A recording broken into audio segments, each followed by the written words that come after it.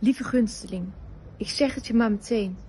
Ik had je in dat stijlorige hoogseizoen als een sfeer met een hoefmes uit de klauwleder uit moeten verwijderen. Ik had ruimte moeten maken bij de tussenklauwspleet, zodat mest en vuil er tussenuit zouden vallen en niemand je kon infecteren. Misschien had ik je enkel wat moeten pellen en bijschaven met de slijper. Je moeten reinigen en droog wrijven met het zaagling. Het is een enorme eer dat uh, in september, aankomende september, mijn uh, tweede roman uh, in het Pools verschijnt. Mijn lieve gunsteling. Um, het verhaal gaat over een veearts en een 14-jarig meisje.